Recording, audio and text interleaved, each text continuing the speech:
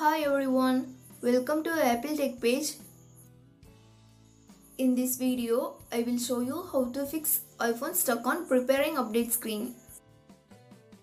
Solution 1 is first get settings app and reboot your device. First, force quit all apps which are running in the background, then go to settings app.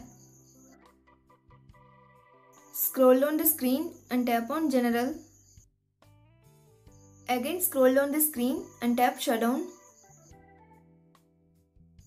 Now drag the power off slider to turn off your iPhone. Wait for few seconds and turn on your iPhone by pressing the power button until you see the Apple logo. Solution 2 is turn on airplane mode and turn off it. First, go to Control Center or Settings app and enable airplane mode. Now lock your iPhone and wait for a few seconds. This will refresh your Wi-Fi and cellular data.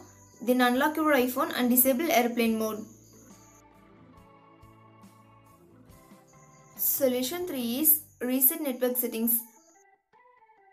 This process resets your Wi-Fi networks and passwords, APN and VPN settings and cellular settings. To do this, go to Settings app. Now find and tap on General. Next, tap on Reset at bottom.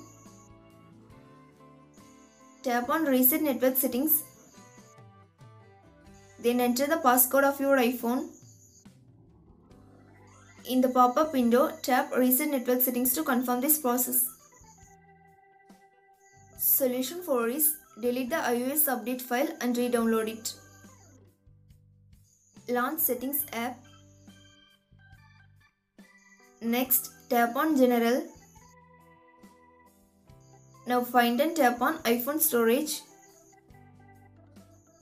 Scroll down to find iOS update file name and select the file. Tap delete update to remove the iOS file from your device.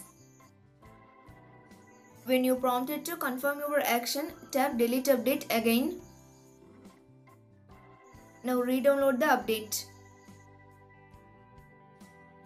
Solution 5 is update your iPhone via Finder or iTunes.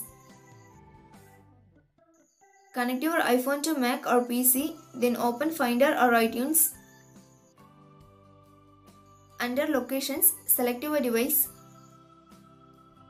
Here, click on Check for Update. If update available for your iPhone, click on Update.